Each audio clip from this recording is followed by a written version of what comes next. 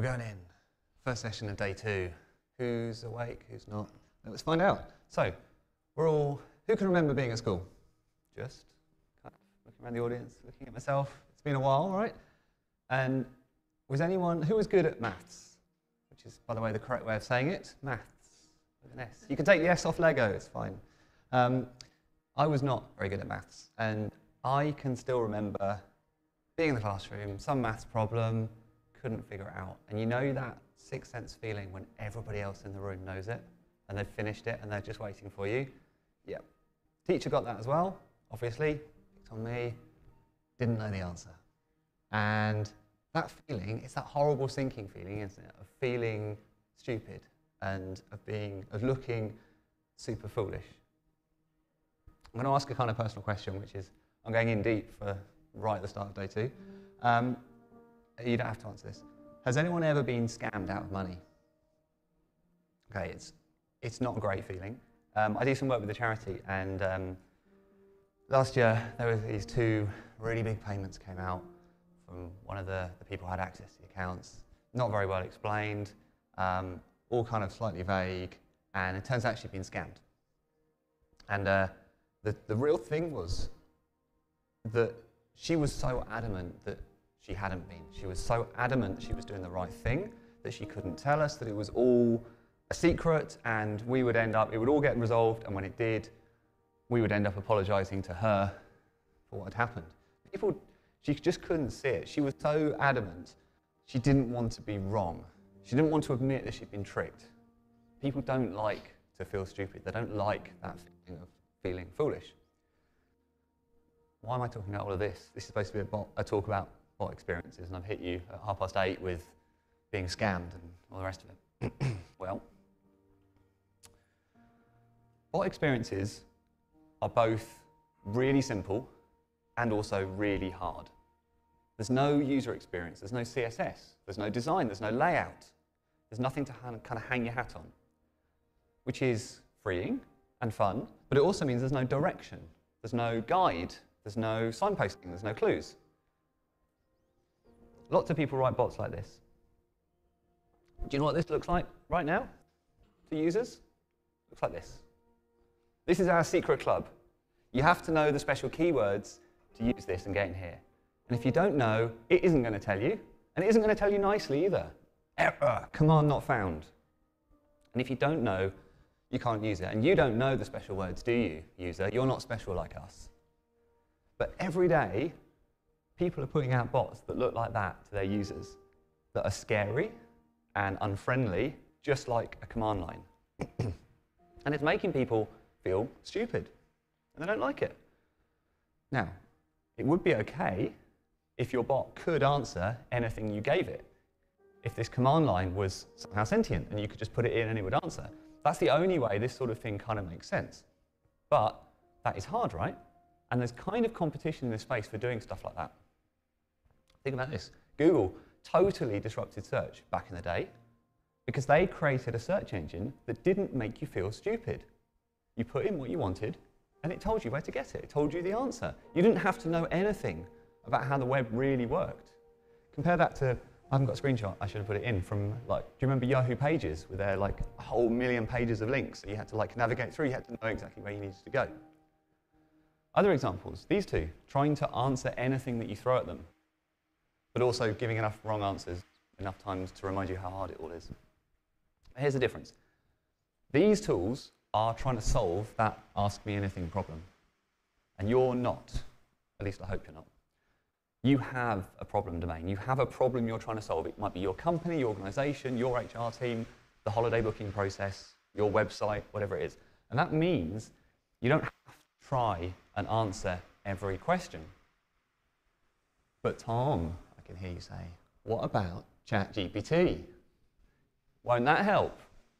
Okay, so we are going to talk about ChatGPT because it is kind of dominating the space right now. We are going to talk about it, but we're going to talk about it in a moment. We're going to talk about something else first.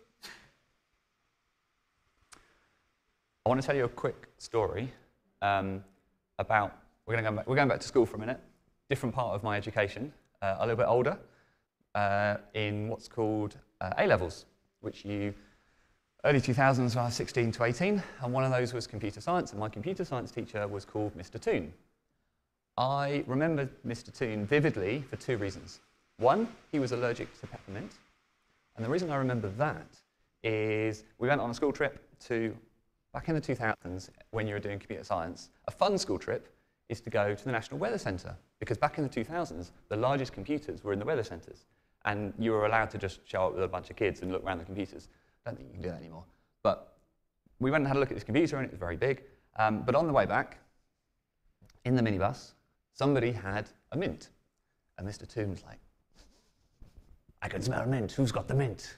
And none of us would, it wasn't me, none of us would own up to, uh, to having the mint. So Mr. Toon drove two and a half back, hours back to school with all the windows down, and I have never felt so cold. Anyway, the other reason, the more important reason that I remember Mr. Toon is he had this massive sign um, in his classroom. And it was printed on that dot matrix printer that's all like fan folded together. It was across like 10 sheets, massive. And he, kept, he would point up at it all the time. This said, typing is no substitute for thinking. Okay? Every single time. And he drummed it into my head and it stayed with me ever since. Typing is no substitute for thinking. And in some ways, Microsoft make it almost too easy to just jump in and start building a bot. They give you the sample, they give you the code that you can download and run it, and it will work out of the box. You can get an Echo bot up and running with no effort at all. Then you can just dive in and start going. But I think it's really important not to do that and to start before you start building, to map things out, map out the journey that your user is going to take, like a flowchart.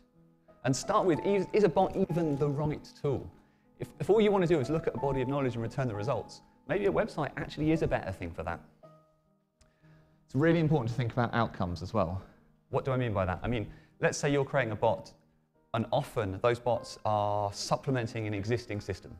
Okay, so there's already a way of doing something, and you're adding a bot on top to make it easier or faster or different or whatever.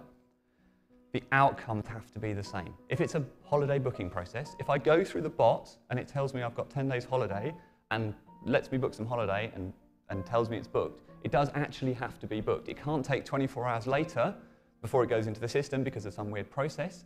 It can't get it wrong and tell me I've got 20 days instead of 10 days. It has to be absolutely consistent with the other things that are going on. And this happens all the time. And you, you don't get lots of chances to try this. You get one chance with a user when they start, when they use your bot for the first time. If you do it wrong once, you really put them off. You get one chance to make a good impression. Okay, I did promise. Let's come back and talk about ChatGPT for a little bit um, and where I think it sits in all of this. Let's just level set with some definitions of things because everybody is talking about it. Not everybody knows all about it. So ChatGPT is a chatbot built on GPT 3.5 or 4, pick your language, or uh, pick your version. GPT 3.5 and 4 are large language models in general text. A large language model, big model, around language. Okay, it models the language, so it vaguely knows when these things happen, they normally finish by these other things. Okay, its job is to complete prompts. When I say this, you say that. Okay, most of the time, um, based on looking at large amounts of data. What I said was its job is to complete a prompt based on looking at a large model of data. That is quite different from being right or wrong. Okay? One of the problems I see with this is that when it gives its answer, because it's drawing on such a large body of information, it can provide answers that sound very much like all of the other right answers, even though they might not actually be right. It presents information that can be confidently wrong. I don't know why I wrote this on the slide because now I have to try and say it. But if you don't know what it means, it means sounding like a person, acting like a person. And we often, uh, or like having the characteristics of a person, and we often attribute those kind of qualities to bots. It is, you know, it's smart, or it's clever, or it's snarky, or it's cross, or it's evil, or it's all of these things. It's none of those things. It is trying to complete a prompt based on its input. I hadn't planned on doing this as an example, but two days ago, something kind of happened which is the perfect demo for this. I was messing around, I was supposed to be working, and I thought I will ask GPT what sessions I should attend at Commsverse. Sounds sensible. So you might not be able to read this back, but I'm a software developer. I do solutions on Teams and stuff like Graph. I'm attending a conference. Here's the schedule. Find me 10 things that I should attend. Sounds sensible, right? Here are 10 sessions you should attend.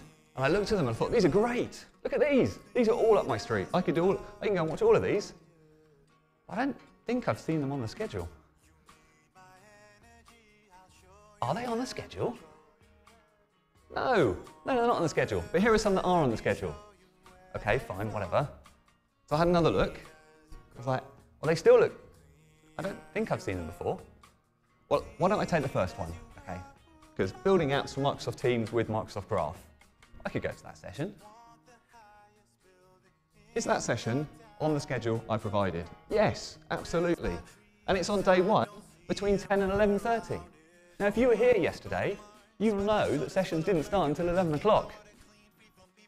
Confidently wrong. So I thought, okay, maybe it's just got confused. Maybe I'll start again, but what I'll do is I'll say, well, now that you think that's, I think something different. So why don't I ask you what's happening between 10 and 11 o'clock on day one? It's a kind of a sensible test, right? Actually, there's a keynote happening at that same time. It's called The Future of AI, Hype versus Reality, and it's by John Smith. There is no session, The Future of AI, Hype versus Reality, although it sounds good. And there definitely is no John Smith. This is a hallucination. But it's not really a hallucination you could pick up on. If you didn't have access to the schedule, all of that stuff. Oh, my music. Sorry. Sorry, tech.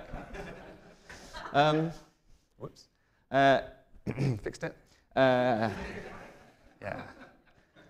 If you didn't have access to their schedule, you wouldn't know whether that was right or wrong. And it is presented very confidently wrong. But this isn't even, this is exactly the sort of stuff we have to be really careful okay? Because it sounds like it's probably right. And this isn't even a particularly hard problem to solve. This website is basically a table of sessions, okay? All right. ChatGPT is a bit of a sledgehammer, but most of the time, all we're trying to do is crack a nut, okay? Doesn't mean it's not useful, but it does mean that it's really important to figure out what it does and what it is useful for and what you can use instead. Okay? Where it gets more useful is if you take, just don't take it as it comes as ChatGPT, but take the model, refine it to a super tight subset, use your data to fine tune its answers. That will give you better quality results. Okay? This is an iterative process. Doesn't mean it won't go wrong, doesn't mean you won't get hallucinations. You absolutely will. But if you're going to do it at all, you have to go through this step of creating a model that is much more tightly scoped. By the way, this process that we're going to get super familiar with in the next couple of years because large language models are going to become really fashionable and GPT is already super fashionable. So we're going to get very familiar with this. Take your data, put it through a data model, get an API for getting answers to questions. Does that look at all familiar to anyone? There's a conference called Future Decoded. It happened in 2017. I'm sure this happened around the world as well, but these are the only slides I could find because 2017 is ages ago. We've been doing this in bots for ages. This is using Microsoft Cognitive Services, which existed way before GPT. You can take your data, make it into a data model, and then get an API for answering questions. Now, is it as good as what GPT is doing? No. GPT is definitely a smarter thing, but we've been building these models, these language models, and putting them inside bots for ages. So, should we rip up everything that we know about building good bots just because ChatGPT is here? No, I don't think so. I think what we're going to see is that the tech that we use today will just get better and better. So our existing ways of building bots with cognitive services and models are going to get smarter and smarter because of the innovations in building language models and how and using them and accessing them and stuff. But I think it's still very important that we plan, design, and think about the experiences we're giving to users, um, and that is just as important as it ever has been. By itself, GPT is not going to be the silver bullet to good bot design because it isn't going to make a bot that can do everything and it can get things wrong word of warning, I would say do not present your bot as a bot that can do everything. or anything perfectly just because you put GPT into it, and be super wary about relying purely on GPT generated material. Okay? By the way, uh, if you haven't heard of No Silver Bullet, it's a really old paper from like the 80s, um, 86, I think. But it's still, I think, it's still super relevant today. Okay, so we agree we've still got some more work to do. We agree that the command line approach isn't great. Then we need, and we agree we need to kind of scope to a particular problem domain. If we're going to do all of that, then we need to give our users options, and in order, we need to frame our bot, basically, into our problem domain. But that means knowing what our users might want to do before we even start, knowing how users are going to use our bot. And that means thinking about how, how people use it before you start building. Typing is no substitute for thinking, if you came here early enough. See? Maybe I should get some those stickers made with that on. Anyway, so before you start, five questions you need to ask yourself before you write a line of code. Obviously, what problem am I solving? Obvious but important. Lots of people don't do this. Dive in, and then they sort of think of one thing and do it, and then they think of another thing and do it, and they keep going. If you can't answer this really well, question whether or not you should be writing a bot at all. And I don't mean like you shouldn't be allowed to. I just mean question whether or not a bot is the right implementation for the problem you're solving. If you can't answer this really sort of easily and well. Also, as important, you need to define the boundaries of your system. You need to know this before you start, because knowing this before you start means that you can help guide your users because they will hit those, and you need to be telling them that, yes, I know that's a thing you might want to do, but it's not a thing I can do. Who's the bot for? This is an interesting one because there might be multiple answers. You might have multiple personas. Let's take, keep coming back to the HR holiday bot, right? Who's that for? If somebody shows up and asks it a like a question about HR holiday policy, how should you answer? You will probably answer differently if it's somebody who's on their first day, or somebody who's been in the company for three years, or somebody who works in HR. Three completely different questions, really. So knowing the persona is important. We're going to come back to that a little bit later. Okay, so similar to question one, but be much more specific. Literally write out 10, 10 things that your users are going to ask. Because okay? that really helps you think about how to prioritize and how to sort of frame what we're going to go into in terms of framing the journey. And then character, you do have to think about that, unfortunately. And you, you can sort of approach it in a couple of different ways. And Microsoft sort of helps because they ship, if you're using Microsoft Bot Framework, they will ship with some default character sets for like the, um, the kind of welcome messages like hi and how are you and all those sort of filler, word, filler sort of greetings. Um, and you can choose things like being funny or being professional or being kind of deadpan. And it doesn't really matter um, as long as you all agree what you're doing and you're consistent.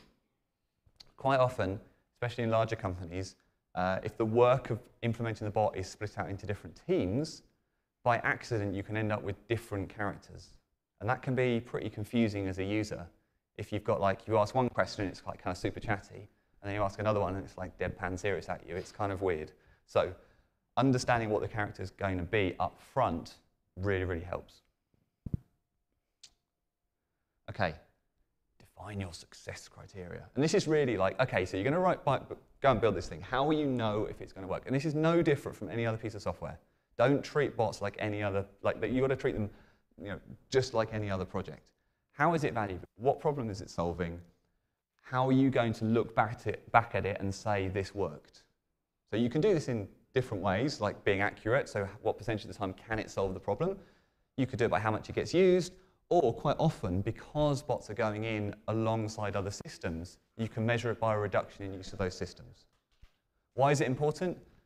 Normally, because it's linked to something your company cares about, and usually that is money. So as an example, this bot that we're going to write will be successful if it answers more than 60% of interactions, is used by more than 100 people daily, and reduces help desk tickets by 10%. Why do we care? Because a 10% reduction of help desk tickets equates to a saving of whatever. Okay?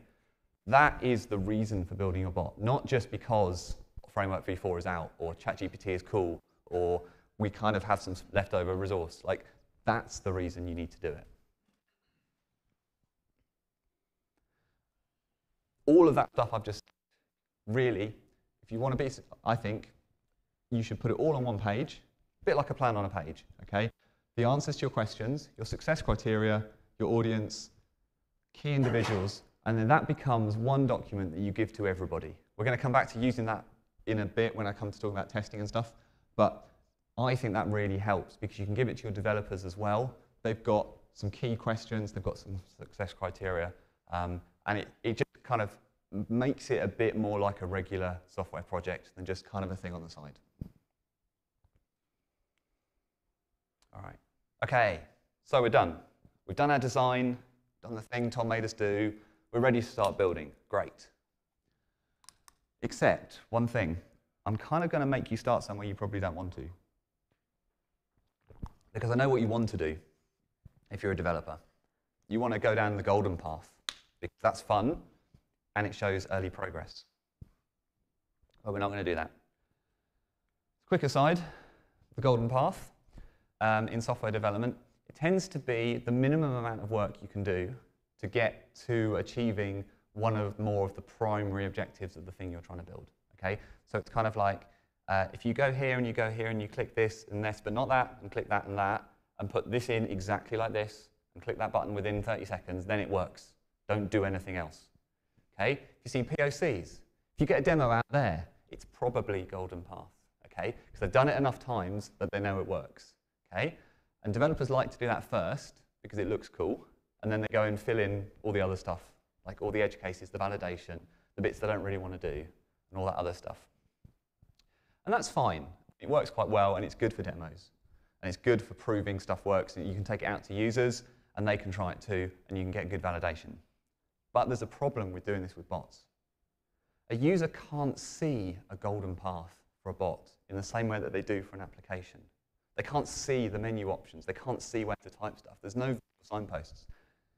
So it's a bit like walking through a forest blindfold. You're back to that command line thing. So instead, start with the assumption that your bot cannot do anything, okay? And build to that, okay? So start by assuming that everything your user will ask your bot, it cannot do, and code for that golden path, okay? And then add on your edge cases for the things you actually want the bot to do. What does that look like? I can channel my inner Donald Rumsfeld, this is the unknown unknowns. This is the everything else, okay?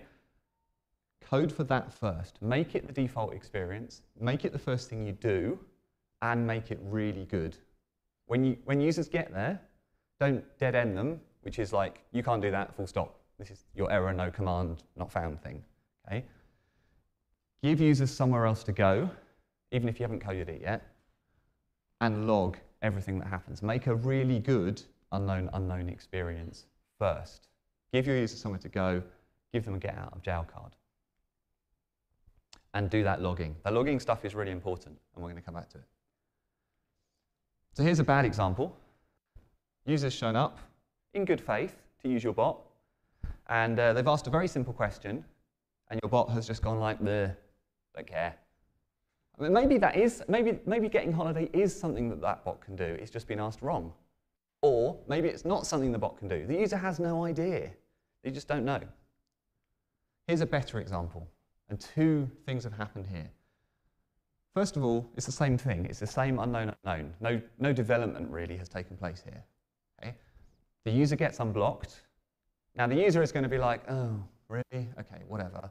But also, here are the options for the things the bot can do.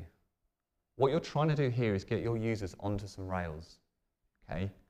Now the user can scan that and then be like, oh, well, obviously, it's that thing. And they might be like, oh, duh. But they're going to click the button and they're going to get on to do what they actually want to do. They are unblocked. It's not perfect, but it's way better. Okay? By the way, this thing at the bottom is a really good idea to put in. At the end of all your options for like what you're trying to do, give the user somewhere else to be like, well, actually, I want to do something else. And just capture it. Capture it and log it. This is a really good way of figuring out how users are actually using your bot by giving them something to do.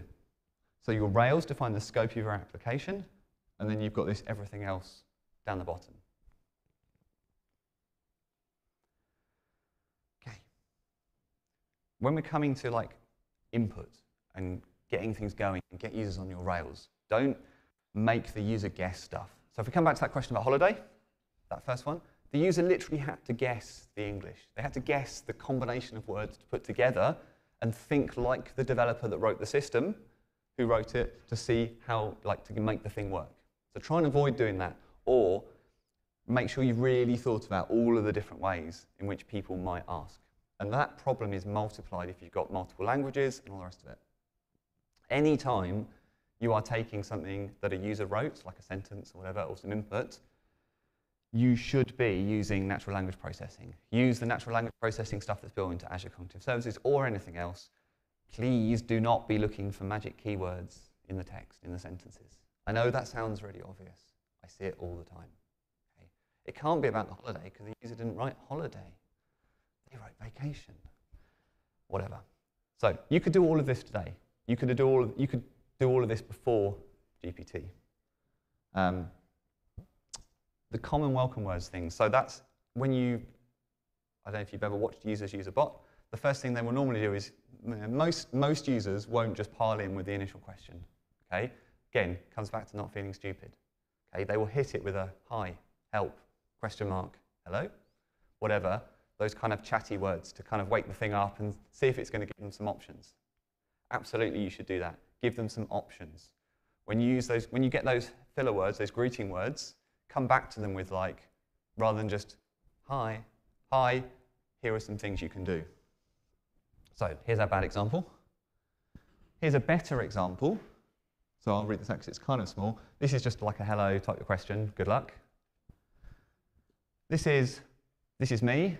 These are some, some of the things I can do. You could ask me about holiday allowance. You could ask me about submitting a request for approval. Or you could ask me about some general questions about policy.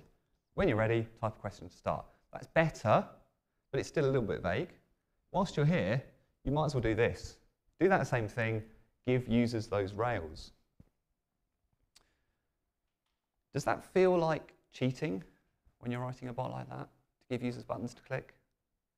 It shouldn't, I don't think. You're not trying to make something that appears human. Stop thinking like that. You're building a tool for users to use to get stuff done. And the tool should make it easier than it was before to do that stuff. And if you showing people the two most popular buttons, the two most popular activities that your bot does, because you know as buttons, so they can click it and get on with their lives, then do that. Okay? So, that's how to plan out a good flow. And you should kind of think that through before you do anything else. When we're building bots for teams, we can lean in to making it a better experience than if you just have to support multiple platforms. So when you build a bot framework, you can choose to support lots of different channels or platforms. You could write one bot and have it work in WhatsApp and Teams and other places.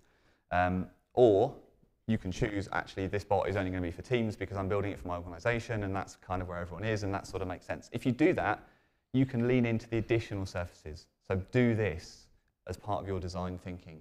Okay? If you've got lots of information to present to users, don't put it all in this massive wall of text. Take them out to a tab, deep link them to a tab in your application somewhere. Um, have things like message compose extensions that make it easier for people to share that content. And make your bot collaborative by taking that content and where it's relevant, posting it into channels, where it's relevant and appropriate. Don't make a spammy bot, but sometimes it does make sense to bring things into channels so other people can collaborate on it, not just the person who kind of started that thing. Another kind of interesting place is where bots can be used to provide notifications to users, okay, which is the other end, other direction of not users coming to bots to kind of get stuff done, but the other way where bots are notifying users.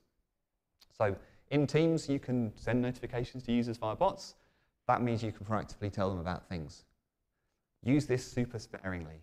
Okay, too much of this just becomes noise, and then users just stop paying attention to you. Like bots that are spammy generally kind of degrade that whole experience. Um, so focus in on the stuff that's used, like actually important and actually relevant to the user and personalize it as much as possible. So rather than like, you have new activity, like there are three things, you know, what is it? very specific to our user. What is the thing? Your holiday, your, you know, your holiday request has been approved, whatever. If you're doing this a lot and you've got lots of these things, consider like a daily digest. So, you know, you only send something once a day. Something happened to me the other day, which is a really good example of this, or a really bad example, depending on how you put your English together. Microsoft do this. Check out the latest activity in Power BI. Okay. Was there any new activity in Power BI? No. There wasn't.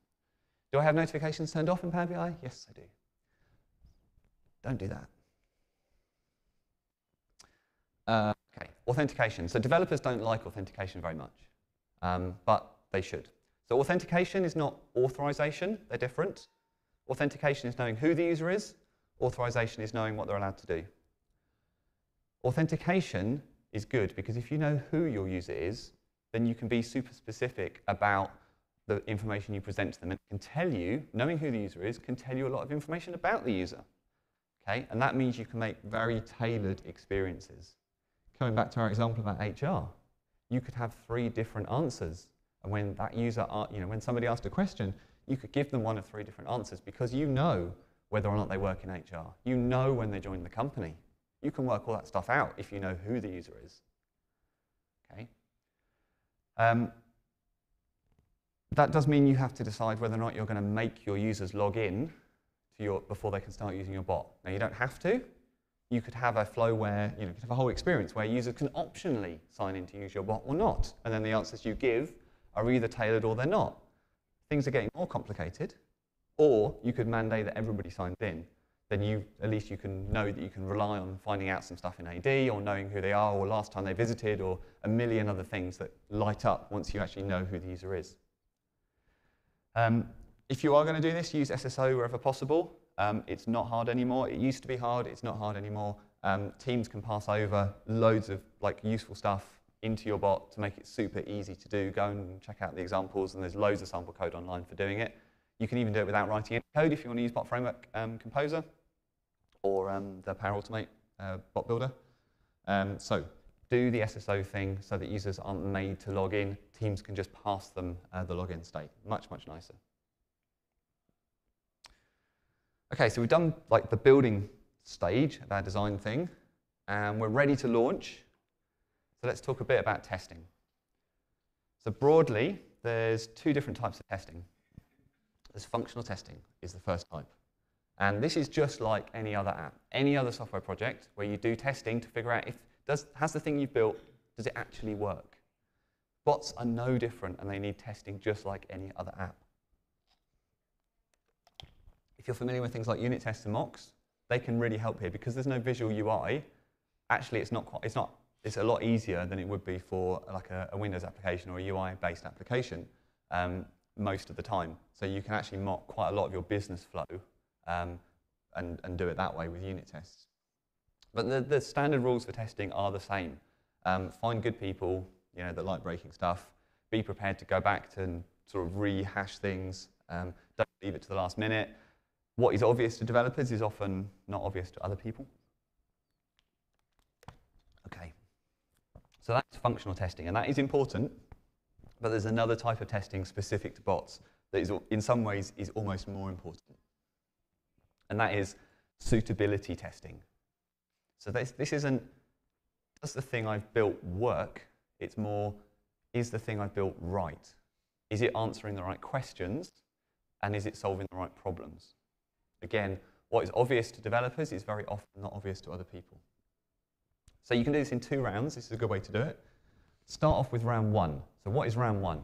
Gather your people. So not developers, not testers. Go and find some end users, some people who will actually be using the system and understand the problem domain get them in a room, show them your design document, and take them through it. This is the design document we had. These are some of the questions we thought you might like to ask. These are some of the things it can do. Give them all of that, and then let them play with the bot and see what happens. Okay? That's round one. Round two is similar. Go and get a group of people, a different group of people. Don't give them any introduction. Don't give them any explanation. Don't give them your design document sit them in front of a computer, see what they do. Okay? If your bot is good at its greetings, at its rails, and all the rest of it, you will not get very much difference between these two. Okay? These people knew what the bot was supposed to do, these people didn't. Try and have developers watch those interactions, and not in a kind of like over the shoulder sort of way. Don't do that. no? Like video recording is best. Like you will be amazed at what users do. Okay? Amazed. In a good way. This, by the way, this suitability testing, you don't have to wait until you've written your application. Really good teams do it before they start writing their application. They save a ton of, mind, a ton of time and money doing it that way. Think about it. You could just mock most of your bot. Give fake answers, fake responses, put the rails in, do all of that stuff. Be fictional. Don't worry about the business logic. When I say holiday, give me 10 days, whatever. Do all of that. Then go to users and do a round of suitability testing. If you really want to, and I've seen this done, make a thing that looks like a bot, but it's actually a person, and hide the person away, a bit like a Turing test. And then have the user talk to the bot and the, the person on the other end has the design documents. They know roughly what they should be doing, but they can just be like, da, da, da, da, typing the response. And the user's like, this is amazing. Um, but actually, you will find out loads about how users will want to use your bot that way. Okay. All right. So back in the real world, there's no budget for testing. You can't do suitability testing. There's no time. It's not going to happen. So what can you do instead? Well, do what you can before you launch. Try and grab people off the corridors or whatever, sit them in front of your bot. And type 2 suitability testing is better than type 1 if you can only do one sort.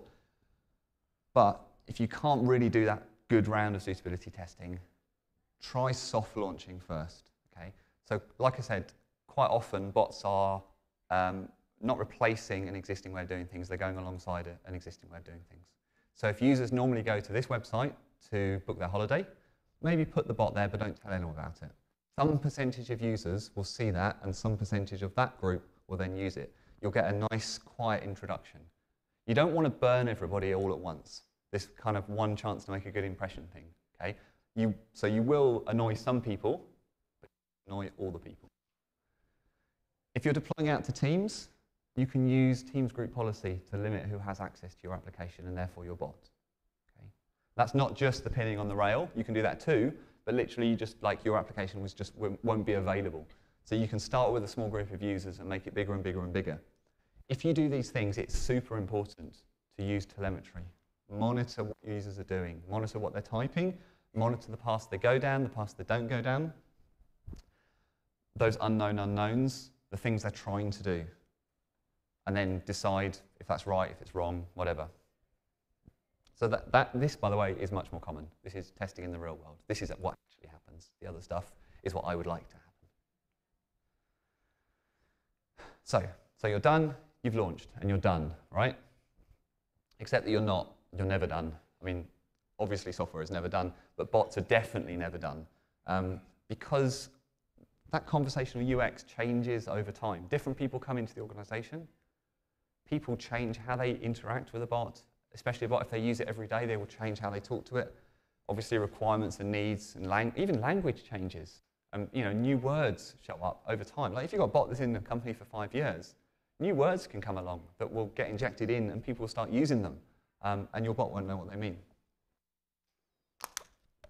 It makes it really, really important to continue monitoring that telemetry um, and just see what users are doing. And lots of people don't do this, but they really, really should. It's a really good way of just seeing what your bot is doing. You can absolutely ask users for feedback and suggestions um, and see what they say. And then after all of that, you might consider adding some new features. But actually, this is quite hard because I know you've got a big list of cool features you want to put in V2 that didn't make it into V1. But the trouble is, your users have a different set of features. Now, you need to be using that monitoring to figure out what users want to do and take your list of features and see if they line up. And kind of take your ego and put it back in its box because you really need to be going where your users are going, okay, which is hard. It is really hard because you started this project because you wanted to build this great interface to a legacy HR system and make it super easy for everyone to book their holiday, but it turns out everybody just wants to look up weird bits about policy from this FAQ document. It doesn't matter. Like, go where the users are. Okay. So if you are going to do new things, try and make them additive and not disruptive. So on those rails, try and put them at the bottom. The new things go at the bottom. Users get really used to where they're clicking for stuff. Okay? And the, the UX, such as it is when you start putting those rails in, is not like super advanced and kind of sophisticated, right? It's just buttons in a list. Okay, so users will get used to that muscle memory, so try and put them at the bottom. It can also be really hard to actually communicate new features to users um, in a bot interface because there is no UI to signal that stuff. They don't know that starting Monday, they can now ask these whole different set of questions. And how are you going to tell them that? That is hard. So um, you can, there's a few different ways of doing it. You can go back through, if you've gone really good messaging and triaging of logs, you could actually go and find those people and say, hey, over the last three months, you've asked our bot a thing it couldn't do, now it can do that thing. You can try these like one time what's new messages. So first time a user hits a, you know, comes to use your, your bot, it'd be like, as well as saying hello and giving the options, like, oh, did you know you can now do this other stuff? But it is kind of hard. By the way, if you work in an enterprise um, and you need budget to get your V2 done, a really good way of justifying that is to use those unknown unknown logs. Like, you know, look at how many people last three months tried to do this thing that we can't do, that therefore we need the budget to go and do. It's a really, really good way of getting that project approved. Okay, let's talk about telemetry a little bit because I've mentioned it a few times. Um, it is super, super important. Okay, if you do, I think it's like the number one thing you should do for bots because it's the only way to get really good visibility about what users are actually doing. Um, and it will also tell you where your bugs are, and also it will tell you where your new ideas, ideas are. Now, there's, there's, there's, good sort of telemetry, if you like, that comes with App Insights in-bot framework, but it's also really easy to add your own. You should do that. Um, add your own like business logic logging. So not just errors, not just like users going through this different code flow, whatever, but business logic log logging. This user is trying to book holiday. Okay? As a thing you can put in App Insights. It's just a, a line, like a, it goes in as an event, okay, alongside all the other bugs and all the other things that are going on.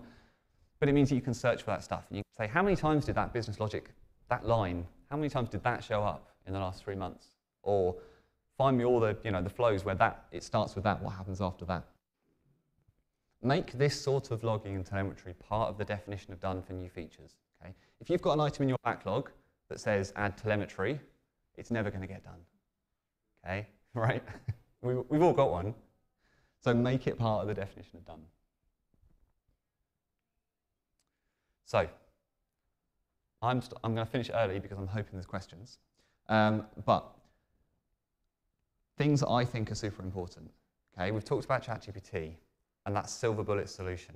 Okay? And I think this is going to be a thing that really evolves over the next year or so, um, where we're going to see ChatGPT, ChatGPT and GPT, and it's kind of important to separate those two things, um, be put in places where maybe they shouldn't be, or put in places where they're not adding a ton of value. Um, and I think we're going to see a bit of a, the Gartner hype cycle thing, um, where it's kind of amazing, amazing, and then we're going to get into that trough of disillusionment, and we'll kind of see, have to see how that goes. Um, but be aware of those kind of silver bullet solutions. If you're building them into your application, be super like clear about the value they're bringing and be very cautious about the answers they're telling you if you can't validate them or justify them in any other way. I don't think, and I think we're seeing people understand this, and the way they are explaining it away is, oh, of course, you should always check. You should always check the results you get from this bot. Like, no one's going to do that. Like, if you're not sure, if you have to tell people that, it's not ready. But anyway, um, so that's kind of super important. Language models are really, are really, really useful. Just be careful, like, about the ones you're building. Designing before you build is like the re really, really important. Make that bot design document. Okay, make sure you put it together. Make sure you keep it. Make sure you keep it up to date. Use it for your testing. Use it for your validation. Start by failing and fail really well. Because if you can make a really good failing experience, then you will immediately start learning okay, from the things your users are trying to do. Okay. Do your testing in the real world as much as you possibly can, and then log everything, everything, everything all of the time. Okay. We do have time for questions, but just before, um, I didn't introduce myself, kind of deliberately. I don't really like introduction slides because um, I kind of always think when people start off with like, hi, I'm Tom, and this is why you should listen to me, they're like, really? Well, yeah, like, see you for 30 seconds. Um, whereas at least now, you can decide whether you want to or not.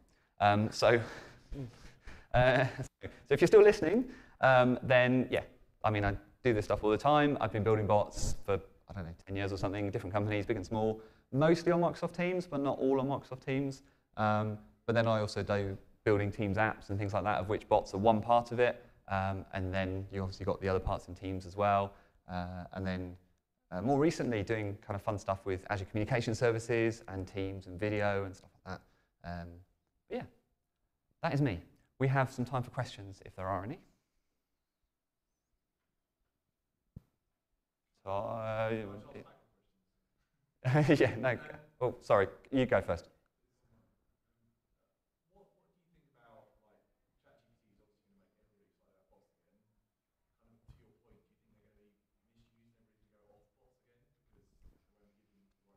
Yeah, so the question was, um, everyone's very excited about bots.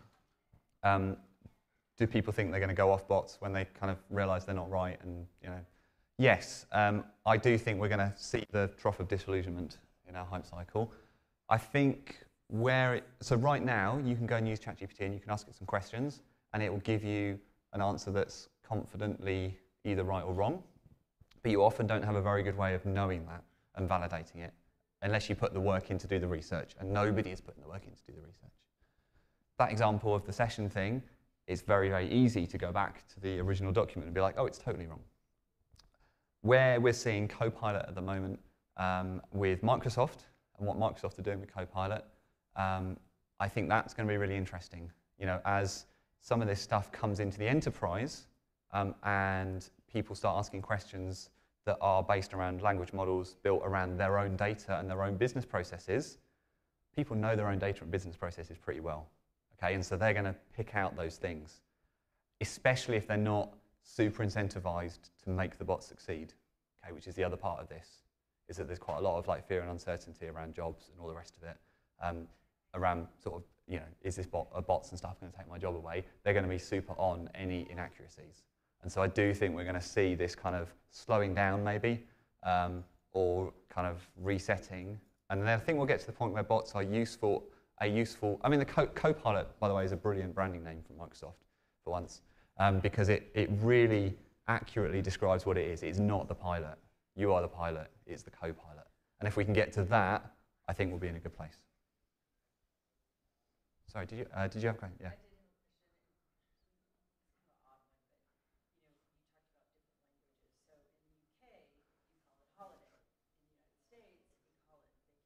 Mm-hmm.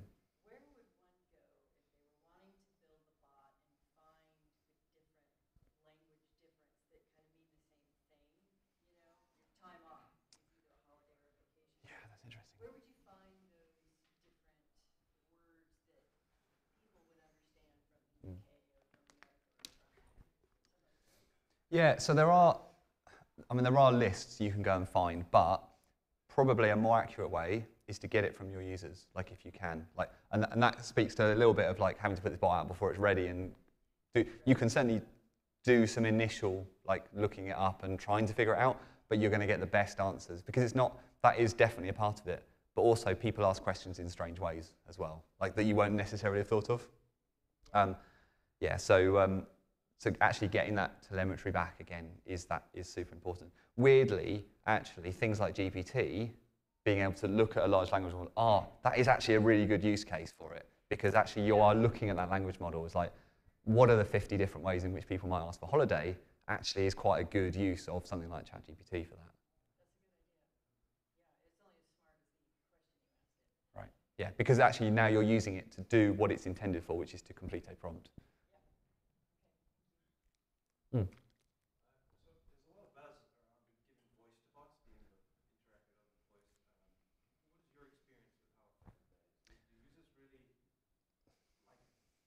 Yeah, so, so the question is like, there's a giving voice to bots. So um, yeah, so rather than typing as an experience, having voice as the experience. Um, um, and how do I think about that? It can be, it's a, it's a tool in the box, right? So text, text to speech is a thing. It's quite a cool thing, which is why everyone wants to use it, okay, because it feels like magic. Um, but is it a useful tool? Now, in some circumstances, yes, it can be a useful tool. If you've got a bot, but actually it's easier or better or makes more sense for people to access it over the phone, then there's a good example, right? But you're using the tool to facilitate a new feature or a new way of doing things. Putting it in just because it's cool and making it the only way for users to use it when typing would be faster or more accurate or easier is not helpful. So it, in, that, in those respects, it can be a bit of a gimmick. Um, you make it much harder in a way to get information back from users if all you're doing is saying, like, just tell me what you want to do. Because now you've got two problems. You've got to do speech to text, and you've got you know, inaccuracies will creep in there, and then you've got to figure out what the intent is. Yes, you could read out a million options and make people push things on your keyboard on, on your DTMF tones, but now you're kind of doing chat through the phone, which is silly. So like, if you could do it on chat, why not do it on chat? So I'm a bit like, yes, if it makes sense, but it has to make sense.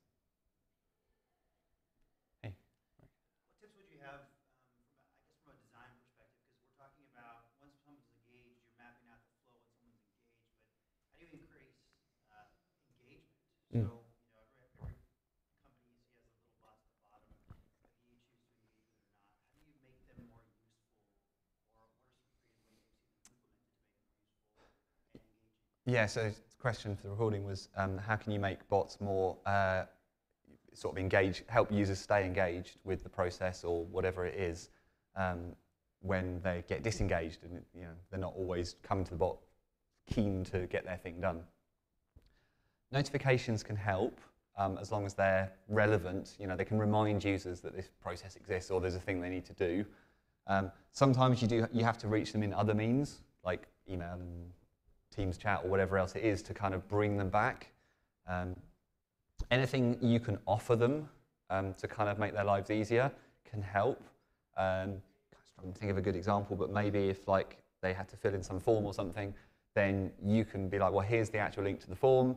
Um, you could even try and do some clever things like you know what's in the form as the developer, so you know like the key pieces of information. If you've done the authorization bit, you can be like, hey, I could actually probably pre-fill most of this form for you, or here's a list of like the first five answers that I've figured out for you.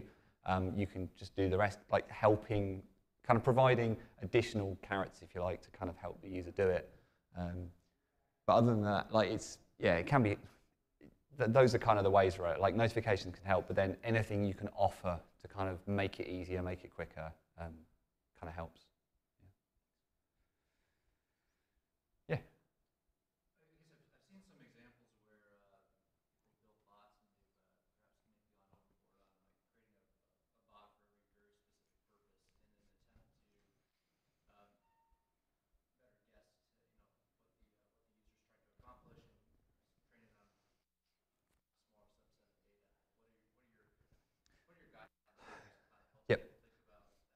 Yeah, so the question is about where you end up with lots of different bots all solving different problems. And yes, definitely seen this. Um, and it sort of does make sense, but what you, you end up with the user now having to figure out which bot to go to to get the job done, which isn't helping anyone. You can create a bot for that. yeah, yeah. And, and that's, in some ways, that is the answer. Like, you create a master bot, whatever. Um, how, ex how exactly and like how connected it is to the other bots is up to you you can make it be the only bot and all users funnel through that bot and it just kind of hands off in the background. You can totally do that. Or you can have those individual bots because the thing is like users still have their flows of doing stuff. So like in our example, like you might still have users go to the HR page and then use the HR bot because that's what's in their head. They won't think to like go and find the bot in the chat or anything like that. So I would say keep those individual bots around, have a but have another bot which knows just enough about the capabilities of the other bots, okay, to like basically signpost. And you can make that signposting really smart. You don't have to tell the bot, well, you can't do that here, you have to do it over there. Like the bot can just be like, hey, sounds like you're asking about HR. Here's the HR bot. I'm going to feed you the question. You know, either I'm connecting to the HR bot so the user doesn't have to do anything, or you can just go and get the answer and give it back, um, or the, you know, the, whatever it is the process. So that's what I would do. I would have that master bot, if you like, so that if you're not sure, you go there. But I would kind of keep Unless, unless you haven't rolled them out already, in which case you've got some choices to make. But if they're there already, I wouldn't take them away from users. Any more for any more? Cool. I shall give you four minutes jump on the coffee. Thank you.